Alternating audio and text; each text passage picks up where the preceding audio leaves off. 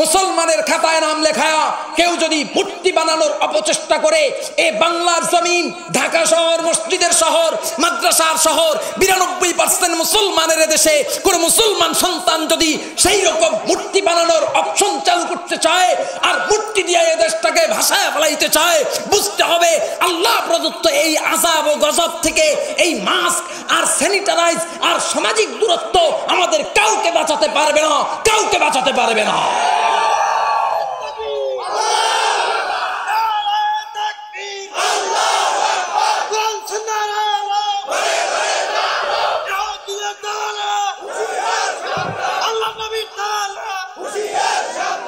আজকে যে ওলামা ইকরাম এ জাতির রাহবার এ জাতির সূর্য সন্তান যাদের উসিলায় আল্লাহ তালা আমাদেরকে আসমানের নিচে জমিনের উপরে সুন্দরভাবে রেখেছেন, আল্লাহ নাজ নিয়ামত দিয়া খাওয়াইতেছেন, আজকে তাদের গালে জুতার আওয়াজ তুলতেছি, আল্লাহর কসম করে বলি, আজকে শাহবাগে যারা ওলামা ইকরাম জাতির রাহবার শেখুল হাদিস, মুফতি ফয়জুল করিম ও শেখুল হাদিস, আল্লামা মামুনুল হকের নামে এই জাতীয় স্লোগান দিতেছ, কসম আল্লাহর জেনে রাখো তেমতের ময়দানে আল্লাহ রব্বুল আলমিন যখন ঘোষণা করবেন, ওয়ান্তাজুল ইয়াউমা আইয়ুহাল মুজরিমুন তখন এই শেখুল হাদিস মামুনুল হক এবং শেখুল হাদিস ফয়জুল করিমের আঁচল দইরা তাদের ছত্র ছায়া থাকার জন্য জায়গা খুঁজবা, কিন্তু কান্নাকাটি করতে করতে যুগের পর যুগ চলে যাবে, জায়গা পাইবা না।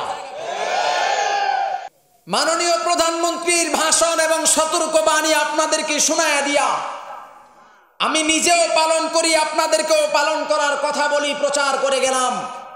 মাস্ক পরবেন, সামাজিক দূরত্ব বজায় রাখবেন হাত ঘন ঘন সাবান দিয়া ধুইবেন। করোনা থেকে হেফাজতে থাকার এটা মাধ্যম। এটা সরকারের পক্ষ থেকে প্রচারণা। আমিও পালন করি, আপনারাও পালন করবেন।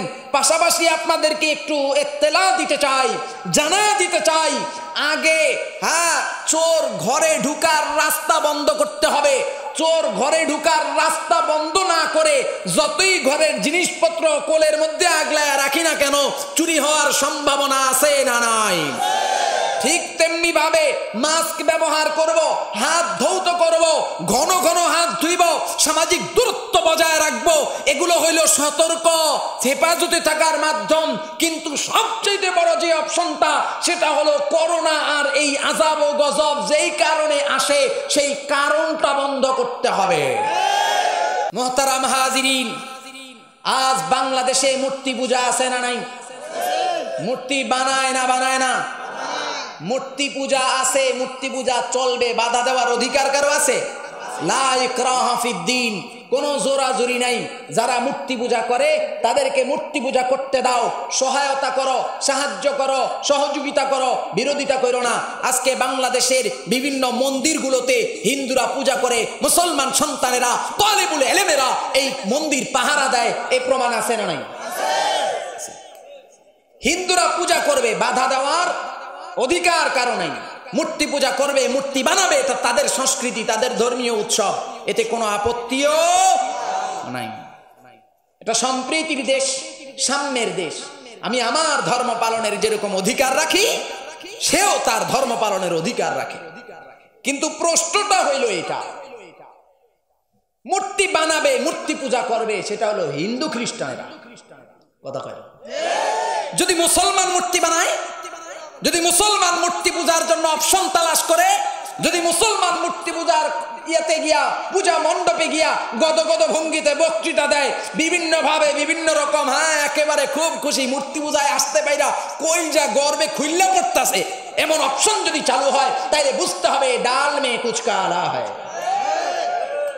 পৃথিবীর প্রথম মূর্তি পূজক, প্রথম শিরিক, প্রথম এই কুফুরের আখড়া রব্বে কাবা চূড়ান্ত এন্টি ভাইরাসের মাধ্যমে ধ্বংস করেছেন। পৃথিবীকে ধুইয়া পরিষ্কার করছেন, পরিচ্ছন্ন করেছেন।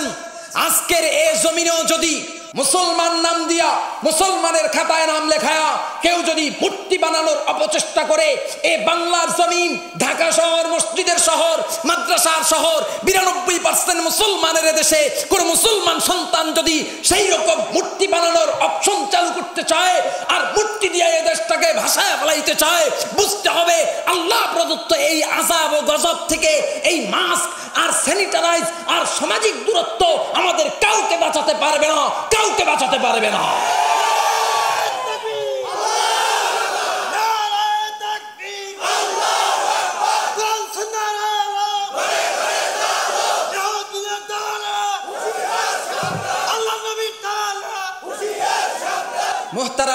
মোহতারাম কষ্ট পাইতেছেন? আমি করোনা নিয়ে আপনাদের কাছে কোনো ধরনের বিরূপ প্রতিক্রিয়া প্রকাশ করেছি? করোনিয়া করোনা নিয়ে কোনো ভুল মেসেজ দিয়েছি? করোনা অ্যান্টিভাইরাস এটা ভাইরাস এটা বিজ্ঞানের ভাষায়। আর আল্লাহর ভাষায় গজব। তা ও গজব আসে যেই কারণে, সেই কারণ একদিক দিয়ে দেদারসে চালাইতেছি। আরেক দিক দিয়ে মুসল্লিদেরকে প্রচার করতেছি মসজিদে সামাজিক দূরত্ব রাখো মাস্ক পরো বেশি বেশি হাত ধোও তাইলে করোনা থেকে বাঁচতে পারবা। আরে বড় দরজা তো খুলে রাখছি ওই জায়গা দিয়ে তো যা ঢুকার ঢুকতেই আছে। আমি মনে করি যদি আপনার আসলেই উদ্দেশ্য থাকে এ দেশবাসীকে করোনা থেকে বাঁচানোর তাইলে আশা করি আপনি প্রথমত করোনা আসার বড় দুয়ারগুলা বন্ধ করবেন। প্রশ্ন হইল এটা তো মূর্তি না, এটা হইল ভাস্কর্য। প্রশ্ন কি? এটা মূর্তি না, এটা ভাস্কর্য। এই একটা কথা নিয়ে, যে মূর্তি আর ভাস্কর্য এক না, এই জিনিসটা এ দেশের মৌলবীরা বুঝে না। নাউজুবিল্লাহ বলবেন না? এটার জবাব হইল, যাহা কদু তাহাই কদু। আমাদের এদেশের মুসলমান ইসলাম ইমানের রাস্তায় অনেক আগায়া। কথা কয় না? যদি মুসলমানরে বলেন যে, এই, তুই এখন থেকে মূর্তি পূজা কর, করবে? আজকের থেকে তুই ঠাকুর ঘরে যা, যাবে? আজকের থেকে তুই এই সিরিকি কাজ, কার্যগুলা কর, করবে? কেউ করবে না। কিন্তু এদেরকে দিয়ে কীভাবে মূর্তি পূজা করানো যায়? এদেরকে দিয়ে কীভাবে সিরিকি কাজ করানো যায়? এটার একটা রাস্তা আজকে বাংলাদেশের নাস্তিক মুরতাদরা বের করছে এবং তারা সফল। কীভাবে আমি আপনাদেরকে একটা উদাহরণ দেই? একজন কলেজের অধ্যাপক। একটা বিড়াল ধরছে। ধৈরা ছাত্রদেরকে দেয় এই বিড়ালটারে মরিচ খাওয়াইতে হইব। পারবা কারা কারা? খুব চালাক চতুর তিনজন সামনে গেছে। স্যার, এটা ব্যাপার হইল? আইসে সামনে আগায়া। তো নাম্বার ওয়ান একজন যে, তুই খাওয়া। তো একটা মরিচ রে ভাইঙ্গা, এই মরিচে, মরিচটা বিড়ালের মুখের মধ্যে ঘষতেছে। আচ্ছা বিড়াল কি মরিচ খায়? অনেক চেষ্টার পরেও ফেল স্যার কয়, দূর, তোর মাথায় গিলু নাই, যা, তুই পারবি না। দ্বিতীয় স্যার আমি পারব। তো খাওয়া? স্যার, আমার এক বাটি দুধ লাগবে দুধ দেন। আনলাম, দিলাম। তো মরিচ রে দুধের মধ্যে গুলায়া তারপরে বিড়াল রে খাইতে দিছে। খায়। খায় বিভিন্ন প্রচেষ্টা শেষ। এবার স্যার কয়, শোন, দেখ, আমি খাওয়াই। কেমনে খাইবে না, দেখ, খাবে না কেমনে আমি দেখব। দেখ, তোরা কেমনে খায়? স্যার করলেন বিড়ালটা ধর। লেজ ডালগি দে একটা মরিচ ভাইঙ্গা পাশার মধ্যে ডলে দিছে। ছেড়া দে। বিড়ালটা ছেড়া দেওয়ার সাথে সাথে কলেজের ওই সানসাইড আছে না? জানালার উপরে যেই থাকে লাভ দিয়ে গিয়ে ওইটার উপরে ওইটা একবার লেজ আলগি দেয় একবার জিব্বা দিয়া চা। কথা কয় না? স্যার কয়, দেখো কেমনে খায় না দেখো। এদেশের মুসলমানদেরকে যদি বলা হয়, মূর্তি পূজা করবা ডাইরেক্ট মুসলমান বলবে না। সিরিকি কর্মকাণ্ডে জড়িত হইবা ডাইরেক্ট না। তো এবার নাস্তিক মুরতাদরা কয়, কেমনে করবি না আমরা দেখে ছাড়বো? তো এবার তারা বাইর করছে, ভাস্কর্য। এটা মূর্তি না, এটা ভাস্কর্য। কেমনে পূজা করবি না দেখতে চাই? বাইর করছে, পহেলা বৈশাখ, এসো হে বৈশাখ, এসো হে বৈশাখ, রমনার বটমূলে। রমনার বটমূলে এসো হে বৈশাখ রে স্লোগান লাগায়া, মাথার মধ্যে হুতুম পেঁচা, ঘোড়া, হাতি, ঢোল, তবলা এগুলার ছবি নিয়ে তারা মিছিল করতেছে। আমরা জানি বৈশাখের পয়লা দিন হিন্দুদের একটা উৎসব থাকে পূজা। এই পূজার দিনে তারা, এই দিনে খালি পায়ে তারা রাস্তায় নামে মিছিল করে, মাথার মধ্যে পেঁচার ছবি নিয়ে নামছে। পেঁচা কি জিনিস? হিন্দুদের বিশ্বাস হইল, পেঁচা হইল লক্ষ্মী দেবীর বাহন। আমরা বাহন নিয়ে রাস্তায় নামছি। ও লক্ষ্মী দেবী, তোমার বাহন আমাদের মাথায়।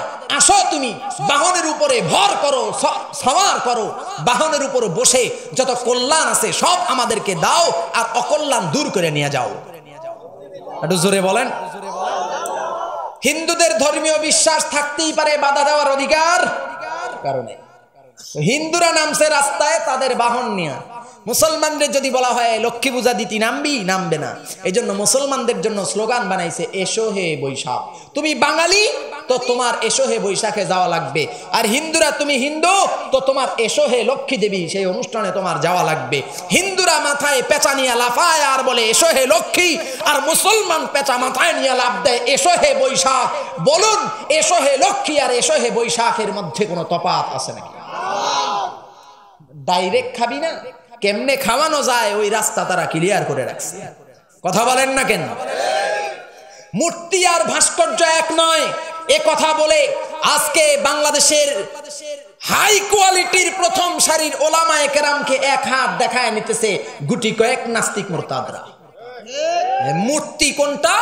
তাদের বর্ণনা, তাদের ব্যাখ্যা হলো মূর্তি ওইটা যেটা পূজা করার জন্য বানানো হয়। আর ভাস্কর্য কোনটা? ভাস্কর্য ওইটা যেটা স্মৃতির জন্য বানানো হয়। হজরতে নুহু আলী সালামের যে পাঁচ অনুসারী পাঁচজন বুজুর্গ যাদের মূর্তি বানানো হয়েছিল এদের মূর্তি কি পূজার জন্য বানানো হয়েছিল না স্মৃতির জন্য বানানো হয়েছিল? জোরে কন।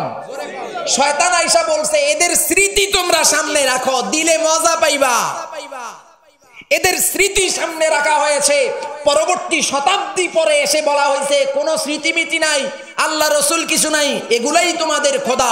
ঠিক তেমনি ভাবে আজকেও যদি কেউ মূর্তির নামে ভাস্কর্য বানায়া স্মৃতি স্তম্ভের নামে ভাস্কর্য বানায়া, মসজিদের শহর, মাদ্রাসার শহর, বিরানব্বই পার্সেন্ট মুসলমানের শহরে মূর্তি দিয়ে জায়গায় জায়গায় টানিয়ে দিতে চায়, আমরা তাদেরকে বলতে চাই, ভাস্কর্য না, মূর্তি না, যতই স্মৃতির জন্য বানাও না কেন, অদূর ভবিষ্যতে এটার পূজাই মানুষ করবে, কোনো সন্দেহ না।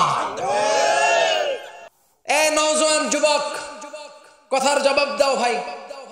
এমন যুবক যারা আমরা স্বাভাবিকভাবেই নামাজ কালামে একটু দুর্বল। আসি আসি, নামাজ কালামে দুর্বল। কিন্তু আমার বাবা, আমার ভাই, আমার বোন, আমার সন্তান, আমার স্ত্রী, যে কেউ আমার দাদা, দাদি, নানা, নানু, কেউ একজন ইন্তেকাল করার পরে, হায়াতে জিন্দগিতে তার যেই অন্যায় অপকর্ম ছিল সেটা ভিন্ন হিসাব। ইসলাম মানসি আর না মানসি, সেটা ভিন্ন হিসাব। অন্তত পক্ষে মরার পরে ইসলামের বাইরে কোনো কাজ আমরা করি? কথা কয় না। কেউ মারা যাওয়ার পরে যথাসম্ভব আমরা চেষ্টা করি ইসলামী শরিয়া মোতাবেক কবর দিতে, শরিয়া মোতাবেক দাফন করতে, শরিয়া মোতাবেক গোসল করাইতে এবং তার মারা যাওয়ার পরবর্তী অপশনটাও মসজিদের ইমাম সাহেবের কাছে গিয়ে কাচু মাচু। হুজুর, নানা মারা গেল, বাবা মারা গেল, একটু কাচু মাচু করে হ্যাঁ হুজুর, কি করতে পারি? আপনি যেভাবে পরামর্শ দিবেন, সেভাবেই করতে চাই। এটা হলো সভ্য, ভদ্র, আদবওয়ালা সন্তানের কাজ। এমন কেউ কি আছেন? একটা যুবক দেখতে চাই, যার বাবা, মা, দাদা, দাদু, সন্তান, সন্ততি কেউ মারা গেছে। তো তার কবরে সওয়াব পৌঁছানোর জন্যে মূর্তি বানাবেন, ভাস্কর্য বানাবেন। এমন কেউ আছেন? থাকলেও বলেন, না থাকলেও বলেন। ভাইরে, আমি তোমার বিরোধী না। আল্লাহর কসম, এ যুবক ভাই, আমি তোমার বিরোধী না। আমি বীর মুক্তিযোদ্ধার সন্তান। আমি এই দেশের আপন এদেশের মাটির সাথে আমার বাবার রক্ত ঘাম মেশে আছে। সুতরাং আমি সকলের আপন। আমি তোমাদের আপন আপন হিসেবে বলতে চাই। নিজের বাবা, মা, ভাই, বোন, আত্মীয় স্বজন, এদের কবরে সওয়াব পৌঁছানোর জন্য যদি কোনো মূর্তি বা ভাস্কর্য বানাইতে না পারি, বরংস যদি এদের নামে মূর্তি বা ভাস্কর্য বানাই, এদের কবরে আজাব যাবে, এতটুকু জ্ঞান আমি রাখি, এতটুকু বুঝ আমার হয়েছে, তাহলে তুমি যাকে নেতা মানো, তুমি যাকে পিতা মানো তুমি যাকে আইডল মানো তুমি যাকে আদর্শের মহানায়ক মানো যার অবদান এ বাংলাদেশের মাটির পরতে পরতে পেশে আছে। তার কবরে আজাব পৌঁছানোর জন্য তার নামেও হবে, এটা কোনো যুবক চাইতে পারে না। আজকে ঢাকার শাহবাগ, ঢাকা ভার্সিটির অঙ্গনে বাংলাদেশের দুইজন সূর্য সন্তান, করিম ইবনে করিম, একজন কুতুবুল আলম, সৈয়দ ফজলুল করিম পীর সাহেব চরমনাই রহমতুল্লাহ আলাই এর সুযোগ্য সাহেব জাদা শেখুল হাদিস আল্লামা মুফতি সৈয়দ ফয়জুল করিম শায়েখে চরমনাই হাফিজাহুল্লাহ। এবং আরেকজন এশিয়া উপমহাদেশের সবচেয়ে শ্রেষ্ঠ হাদিস বিশারদ শেখুল হাদিস, আল্লামা আজিজুল হক রহমতুল্লাহ আলাই এর সুযোগ্য সন্তান, জাতির রাহবার শেখুল হাদিস ইবনে শেখুল হাদিস, আল্লামা মামুনুল হক হাফিজাহুল্লাহ। এই দুই রাহবারের শাহবাগে আজকে গুটি কয়েক নাস্তিকরা এদের আদলে মূর্তি বানায়া পোড়াইছে আগুন দিয়া। একটু জোরে বলেন। শুধু যে পোড়াইছে তা না, স্লোগানে স্লোগানে শাহবাগকে তারা আকাশ পাতাল কাঁপাইতেছে। মামুনুল হকের দুই গালে জুতা মারো তালে তালে। ফাইজুল করিমের দুই গালে জুতা মারো তালে তালে। এইরকম স্লোগান তারা দিতেছে। বিভিন্ন ভাবে ওলামাই হক্কানির বিরুদ্ধে তারা আওয়াজ তুলতেছে এবং তাদের জবানে এই কথাও স্লোগানে উচ্চারিত হইতেছে। কি বলে? জয় বাংলা, চল সামনে চল, মুজিবের সেনাদল, বঙ্গবন্ধুর আদর্শ, এই বাস্তবায়ন করব। এইভাবে তারা বিভিন্নভাবে স্লোগান দিতেছে। আমি আপনাদের কাছে বলতে চাই, আজও পর্যন্ত এ বাংলাদেশে যারা যেখানে যখন ওলামায় কেরাম মূর্তির বিরোধিতা করেছে এই ওলামাই কেরাম কখনো কি বঙ্গবন্ধুর নামে হাসপাতাল আছে না নাই? বঙ্গবন্ধুর নামে কলেজ, ভার্সিটি আছে না নাই? ব্রিজ, সেতু, টোল আছে না নাই? এগুলোর বিরোধিতা কখনো করেছেন? এগুলো দরকারি। হাসপাতাল, জনসেবার কার্যক্রম। কলেজ, ভার্সিটি, জনসেবার কার্যক্রম। রাস্তা, টোল, সেতু, এগুলো জনসেবার কার্যক্রম, এগুলোর বিরোধিতা কখনো করে নাই, করবেও না। তাহলে মূর্তি যখন বানানো হচ্ছে, তখন ওলামাই কেরাম কেন বিরোধিতা করছে? বুঝতে হবে, আসলে ওলামাই কেরামই বঙ্গবন্ধুর দরদি। তারা জানেন, তারা বুঝেন যে বঙ্গবন্ধু শেখ মুজিবুর রহমান সাহেব বাংলাদেশের স্বাধীনতার অন্যতম স্থপতি, যার আহ্বানে আমাদের বাপদাদারা যুদ্ধ জেহাদ করে এই দেশকে স্বাধীন করেছে। অতএব যার স্বাধীন করা দেশে বসবাস করছি তার কবরে আজাব দেব আমি তো তার আদর্শের সন্তান হতে পারি না আমি অবৈধ সন্তান।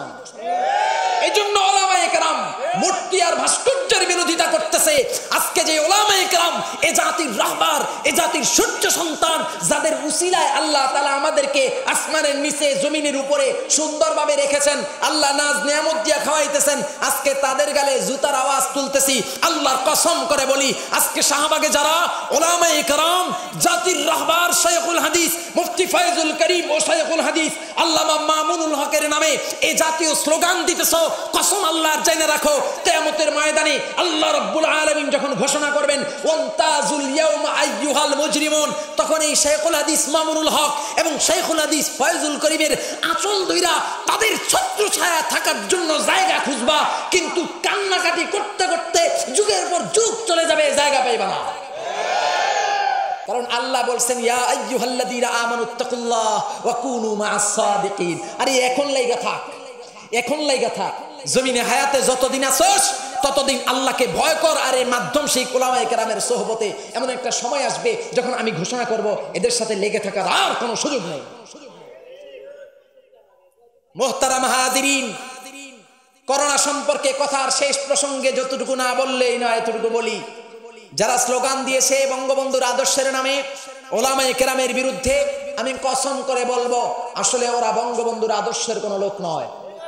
এদেশের আওয়ামী লীগে অসংখ্য মানুষ আছে যারা তাহাজ্জুদ গুজার। যাদের টাকা, দান, খায়রাতে অসংখ্য মাদ্রাসা, মসজিদ চলে। সুতরাং আমি বিশ্বাস করি আমি এই কথা বিশ্বাস করি যে বঙ্গবন্ধুর কবরে আজাদ পৌঁছবে আর তার আদর্শের সৈনিকরা এটা কামনা করবে, এটা হতে পারে না। বরংস এদেশের হকানি ওলামায়ে কেরামের সাথে, বঙ্গবন্ধু কন্যা শেখ হাসিনা মাননীয় প্রধানমন্ত্রীর সাথে একটা দূরত্ব আর গেঞ্জাম লাগানোর জন্য তৃতীয় পক্ষ হিসাবে কাজ করতেছে আজকের এই শাহবাগীরা। মাননীয় প্রধানমন্ত্রী, আমরা শান্তি চাই, শৃঙ্খলা চাই, সাম্য সম্প্রীতির এ দেশে আমরা সম্প্রীতির দেশ, সম্প্রীতির সৌহার্দ্যতার সম্পর্ক কায়েম রাখতে চাই। অতএব আজকে যারা আপনার এই সংগঠনকে কলুষিত করতেছে বঙ্গবন্ধুর স্লোগান দিয়া, এরা কখনোই আপনার আপন ছিল না, এখনও নয়। ভবিষ্যৎ আপনার আপন নয়। অতএব এদেশে অস্বস্তিকর একটা পরিবেশ তৈরি হওয়ার আগে শেখুল হাদিস, মুফতি ফয়জুল করিমের উত্তরসূরিরা জেগে ওঠার আগে শেখুল হাদিস, আল্লামা মামুনুল হকের উত্তরসূরিরা জেগে ওঠার আগে, এদের জবান টেনে ধরুন, লাগাম টেনে ধরুন।